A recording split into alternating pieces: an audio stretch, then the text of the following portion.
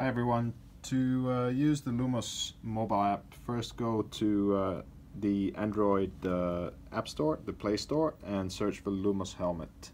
Uh, after you have downloaded and installed the app, uh, you can go ahead and uh, open it.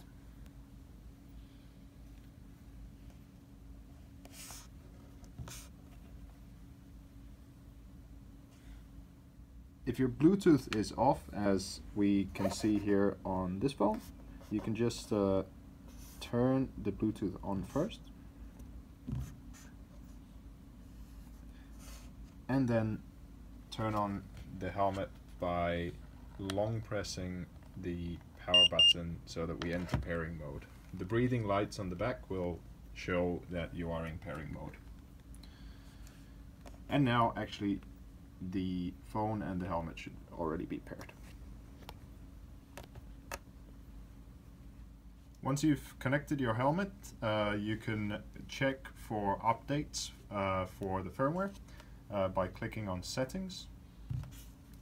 And uh, you'll see a notification here at helmet firmware update. If there's anything available, you can click on it and uh, click on update firmware.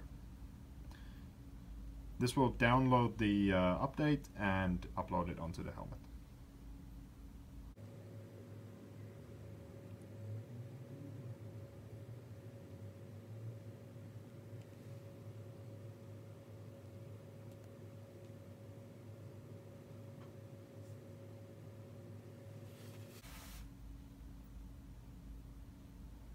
And as you can see, it might take a minute or two to complete, so please be patient.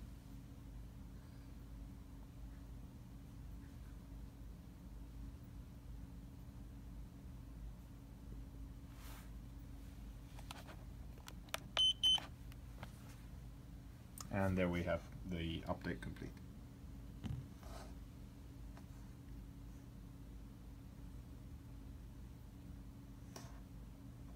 And if you go back into the uh, update page, you'll see that the uh, update is completed and the helmet is good to go.